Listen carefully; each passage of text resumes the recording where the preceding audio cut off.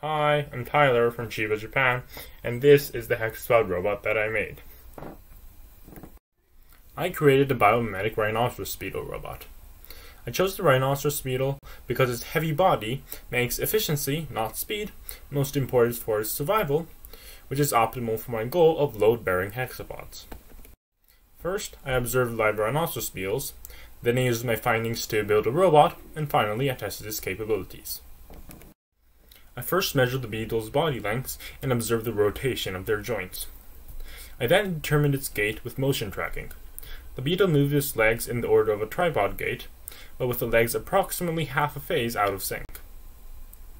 And while doing this, I noticed that an unusual bump on their bellies seemed to be touching the ground. I confirmed this, and furthermore, I discovered that when walking with heavy loads, they placed over half of their weight on it.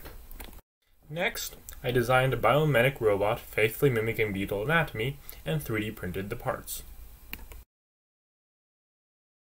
In the design, I included a supporting structure to mimic the beetle's bump, and I also programmed it to walk in the gait I discovered earlier. Finally, I measured the robot's capabilities. I measured the output current, stability, and weight carrying ability.